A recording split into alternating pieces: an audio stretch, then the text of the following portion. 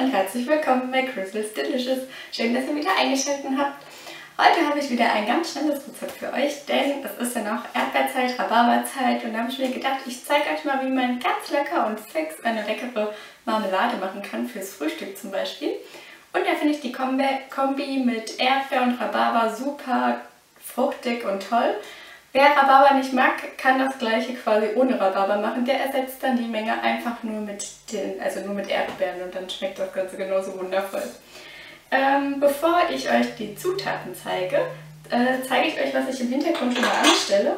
Ich äh, fülle die hier, das sind so ungefähr 220 Milliliter passen da rein, in diese Weggläschen rein. Und die werden jetzt äh, gekocht und die stelle ich im Hintergrund an, also mit Deckel, Gummi, also mit allem, was quasi mit was man das Ganze verschließt. Wenn ihr jetzt zum Beispiel einen Schraubverschluss habt, dann auch den Schraubverschlussdeckel, also einfach alles mit Wasser bedecken und einfach richtig sprudeln kochen lassen. Also für die Marmelade brauchen wir nichts weiter außer 500 Gramm Erdbeeren, 500 Gramm Rhabarber, den habe ich hier schon bereits äh, ganz dünn abgeschält und äh, in Würfelchen geschnitten. Ich benutze jetzt hier Gelierfix äh, extra 2 zu 1. Ich finde die Mischung 2 zu 1 am leckersten, weil die schön fruchtig ist. Da benötigt man quasi 1000 Gramm Früchte und zusätzlich 500 Gramm Zucker und halt diesen Beutelinhalt. Also 500 Gramm Zucker fügen wir noch hinzu. Dann ganz wichtig Vanilleextrakt. Wer Vanilleextrakt nicht hat, benutzt einfach eine komplette Vanilleschote und kratzt die aus. Außerdem noch den Saft von einer halben Zitrone und die Schale. Also als erstes geben wir das Obst in den Mixtopf.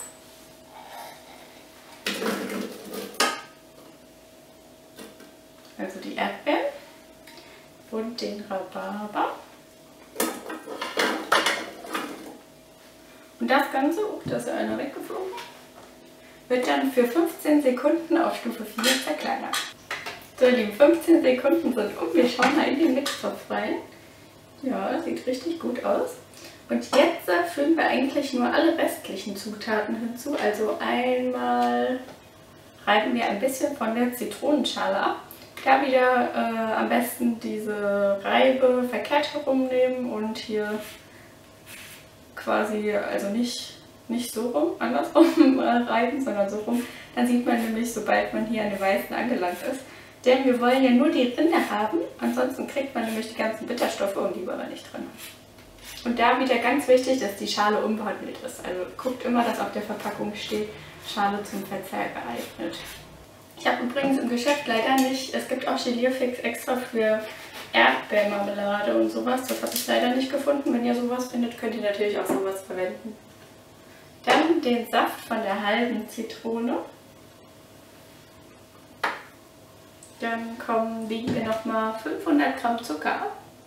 Da gehe ich jetzt einfach auf Tara. So. Dann ganz, ganz wichtig, das Vanilleextrakt. Die von allem. Erdbeeren ohne Vanille, ich finde das geht gar nicht. Da mache ich auch richtig viel rein.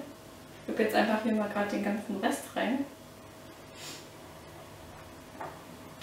Wenn ihr euch übrigens fragt, wie man immer den Rest hier rauskriegt, da mache ich immer so ein kleines Schlückchen Milch rein, schüttel das Ganze und dann gebe ich das zum Beispiel auch mit in den Kaffee. Das schmeckt super lecker.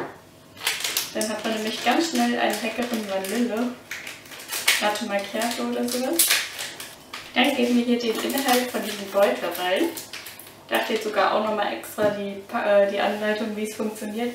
Also egal für welche Geliermittel ihr euch entscheidet, guckt einfach immer auf die Packung, was da steht, wie man das, wie man das mischen soll und sowas. Dann wird das Ganze jetzt einfach nur verrührt im Thermomix auf Stufe 4 für etwa 5 bis 8 Sekunden. Und jetzt stellen wir den Thermomix einfach nur auf 12 Minuten 100 Grad Stufe 2 und dann habe ich schon geschafft. so, liebe, weniger als eine Minute ist äh, die Marmelade fertig. Ich habe jetzt bis zum Schluss die Gläschen kochen lassen. Jetzt nehmen wir die hier vorsichtig äh, mit so einer Zange raus und tun das auf ein sauberes Geschirrtuch. Und jetzt wird die Marmelade heiß da reingegossen der Gummideckel drauf gemacht, der Deckel drauf und dann festgemacht und dann einfach äh, stehen gelassen.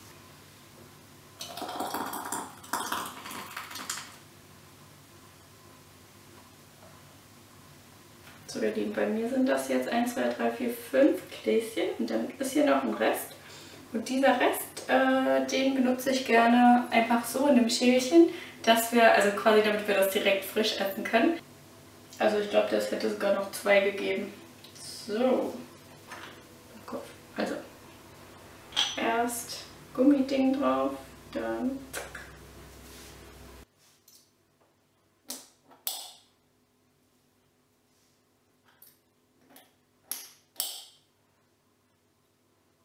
Also das Wichtigste hierbei ist eigentlich nur, dass alles sauber ist, dass ihr dieses Gummiding richtig schön also mittig drauf macht, dass der Deckel schön drauf fällt und dass ihr alles im heißen Zustand macht. Wer jetzt Schraubgläser benutzt, der macht den äh, Deckel, schraubt den zu, dreht die Gläser dann um für 5 Minuten und dann wieder um und so zieht es genauso ein Vakuum. Aber bei den Gummi, mit den Gummiringen hier, die Gläser, da darf man das nicht machen, denn ansonsten schimmelt es. So ihr Lieben, wenn ihr das riechen könntet, würdet ihr das glaube ich sofort nachmachen. Ich hoffe, euch hat das Rezept gefallen. Ich schreibe euch das Rezept wieder in voller Länge unten in die Infobox rein. Und ich hoffe, ihr seid das nächste Mal wieder dabei. Bis zum nächsten Mal. Tschüss.